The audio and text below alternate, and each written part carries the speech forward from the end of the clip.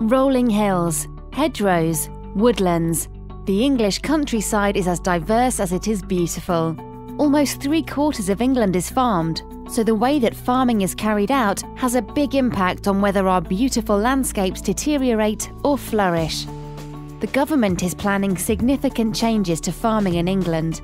We want to ensure that these changes support farmers to protect and improve our diverse landscapes for generations to come farming that enhances landscapes can help ensure our countryside is more varied and full of character, restore wildlife, reduce the effects and risk of climate change, and bring many other benefits, such as increasing our access to the countryside, all whilst continuing to produce good quality food and supporting our economy.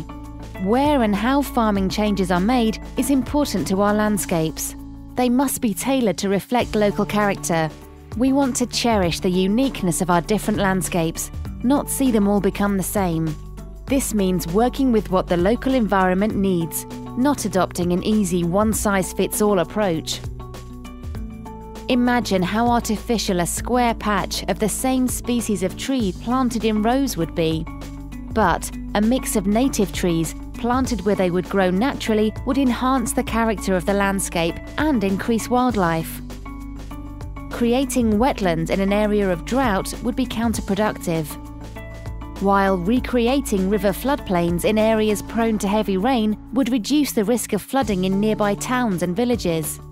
Equally, it would be out of place to plant hedgerows in areas where dry stone walls are common or where it's out of character for the landscape. But in the right place, hedgerows enhance character and help prevent soil erosion, future changes to farming will make a huge difference to our countryside.